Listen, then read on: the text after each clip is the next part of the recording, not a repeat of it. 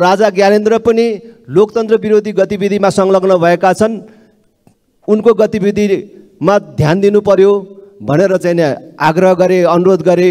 यो सङ्घीय लोकतान्त्रिक गणतन्त्रात्मक मुलुक हो तसर्थ यो राजा भन्ने शब्द रेकर्डबाट हटाइयोस् भन्ने माग राख्न चाहन्छु।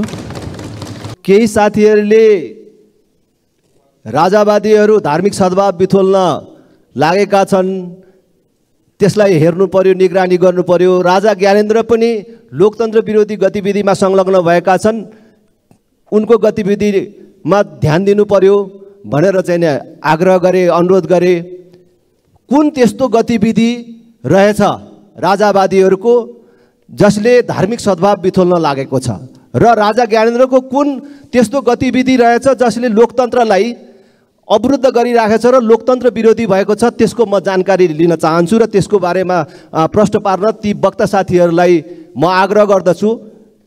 जघन्य हत्याका आरोपीहरूलाई अपराधीहरूलाई जेलबाट छोड्ने बालवाटारको सरकारी जग्गा व्यक्तिको नाममा बनाउने नेपाली नागरिकलाई भुटानी शरणार्थी बनाउने क्विन्टलको क्विन्टल सुन तस्करी गरेर ल्याउने काम चाहिँ लोकतान्त्रिक हो। म सोध्न चाहन्छु। नेपालको संविधानले राजा चिन्दैन। भर्खरै एकजना मान्यज्यूले राजा भन्ने शब्द चाहिँ प्रयोग गर्नुभयो सम्मानित सदनमा। यो सङ्घीय लोकतान्त्रिक गणतन्त्रात्मक मुलुक हो। तसर्थ यो राजा भन्ने शब्द रेकर्डबाट हटाइयोस् भन्ने माग राख्न चाहन्छु। त्यसै गरी हाम्रो अहिले मुलुकमा चाडबाड नजिकिँदैछ व्याप्त महँगी छ कालाबजारी छ समस्याहरू चाहिँ असाध्यै व्याप्त छ। कमसेकम यो चाडबाडको अवसरमा यो महँगी र कालाबाजी कला कालाबजारी नियन्त्रणको निम्ति सचेतन पहल र प्रभावकारी अनुगमनको निम्ति म नेपाल नेपाल सरकारसँग माग गर्न चाहन्छु। त्यसै गरी हामी सबैलाई थाहा छ हामीले बजेट पास गरेको यति धेरै महिना भयो। हामीले कार्यतालिका सहितको बजेट पास गरेका थियौँ। कमसेकम कार्यतालिका कार्यतालिका सहितको बजेट कार्यान्वयन प्रक्रियाको लिखित विवरण माग गर्दछु। धन्यवाद। मान्य सदस्य श्री महेन्द्र बहादुर साई।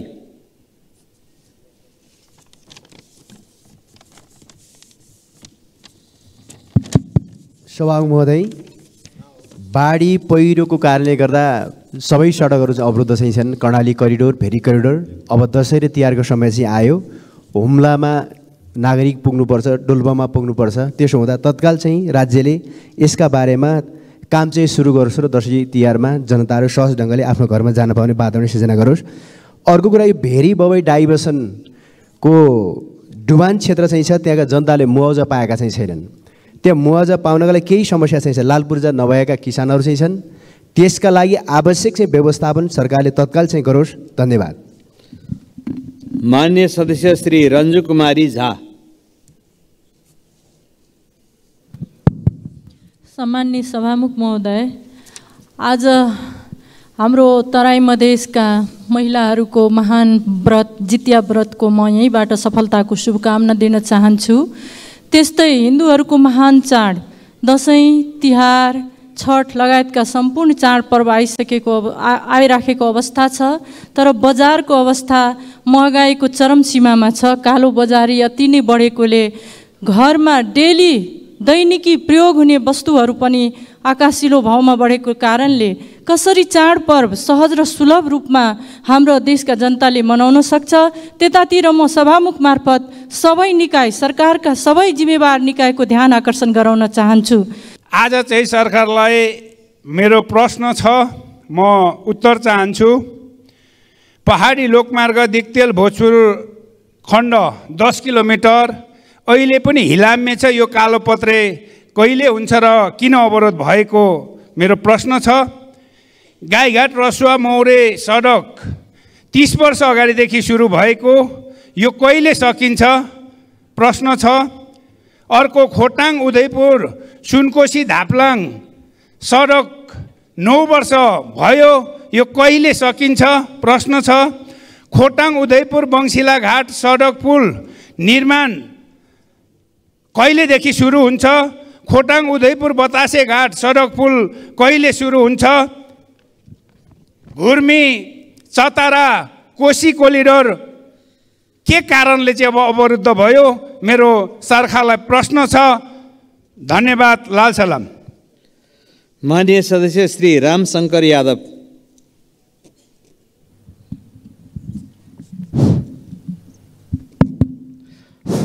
स- सामान्य सभामुख महोदय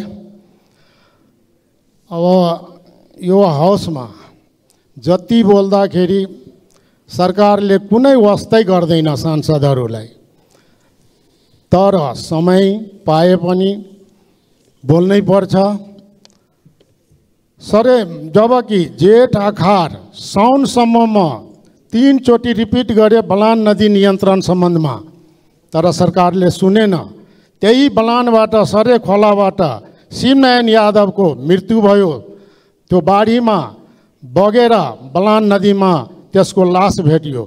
र लाहान नगरपालिकाको तेइस नम्बर वार्डको दुईवटा गाउँ त्यहाँ अहिले उठीवास भइसकेको छ।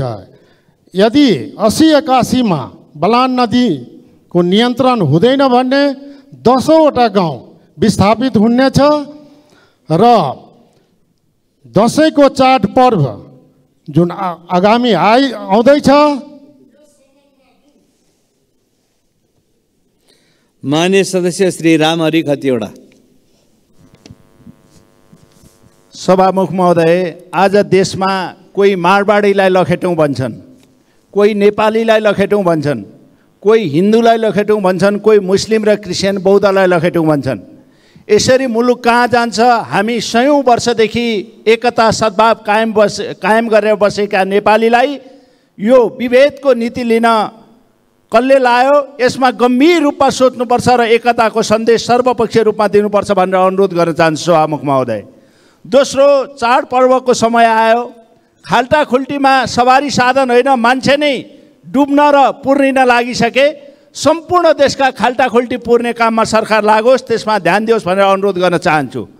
तेस्रो सभामुख महोदय जलहरी प्रकरणमा कहिले महालेखाले दस केजी पुगेन भन्छ अख्तियारले एक केजी पुगेन भन्छ फेरि जोग्छ पाँच सय केजी पाँच सय ग्राम पुगेन भन्छ खोज्दा त्यहाँ कहिले पचास ग्राम भेटिन्छ यो के हो? अरू बेलामा बुरुक बुरुक सुन काण्डमा उफ्रिनेहरू जलहरीमा किन चुप लागेका हुन्? जवाब छैन मान्य सदस्य श्री रेखा यादव। सभामुख महोदय वैदेशिक रोजगारको नाममा अनेकौँ नेपाली चेलीबेटीहरूलाई विदेश पठाउने गरिन्छ। त्यहाँ उनीहरूको हत्या हिंसा र यौन शोषणका शिकार हुने गरेका छन्। सभामुख महोदय मार्फत नेपाल सरकारलाई ध्यान आकर्षण गराउन चाहन्छु। सरकारले यस विषयमा चालेको कदम पर्याप्त छैन। कतिपय मानव तस्करहरूले श्रम स्वीकृति गरी नेपालबाट लानको सट्टा भारत श्रीलङ्का तथा बङ्गलादेशको बाटोबाट लैजाने गरेका छन्। त्यस्ता अपराधीहरूलाई तत्कालै कडाभन्दा कडा कारवाही होस्। साथै भारतका विभिन्न सहरमा बेचबिखन भएका चेलीबेटीहरूलाई उत्थान एवं पुनर्वासको व्यवस्था गरियोस्। स सामान्य सभामुख महोदय काला बजारी र काला बजारीले देशलाई नै सङ्क्रमण अवस्थामा ल्याइसकेको अवस्था छ। अहिले चाडपर्वको मुखमा व्यापारीहरू पुँजी बढ्दै गरेको र आम नेपालीहरू बाटोमा उभिने अवस्था आएको छ। आम नागरिकलाई सडकमा यसरी उभ्याउने अधिकार कसैको पनि छैन। सभामुख महोदय यस्तो अन माननीय सदस्य श्री रोशन कार्की। सभामुख महोदय आरती शाहले न्याय कहिले पाउने? अझै कति आरती शाह मरिनुपर्ने र त्यसका परिवारहरूले न्याय खोज्दाखेरि दुःख पाउनुपर्ने? म सभामुख मार्फत म यो प्रश्न गृहमन्त्रीलाई म सोध्न चाहन्छु। केही समय अगाडि महिला तथा सामाजिक मामला समितिले यस्ता खालको उजुरीको लागि नि शुल्क हेल्पलाइनको व्यवस्था होस् भन्दा गृह मन्त्रालयमा पत्राचार गरेको थियो निर्णय गरेर। त्यसपछि आरती शाह ल- को परिवारलाई कुटपिट गर्ने प्रहरीहरूमाथि कारवाही होस् भनेर महिला तथा सामाजिक मामला समितिले निर्णय गरेर पठाएको थियो। यो दुइटै कुराहरू सुनिएन सभामुख महोदय। के यसरी समितिको अपमान गर्नु मिल्छ? गृहमन्त्रीजीले या गृह मन्त्रालयको प्रतिनिधि पनि आउनु भएको थियो त्यो समितिको बैठकमा। यस प्रकारको समितिको अपमान गर्न गृह मन्त्रालयले मन्त्रीज्यूलाई छुट छैन। त्यस कारणले यो तत्कालै यस उप कारवाही गरियोस् विचार गरियोस् र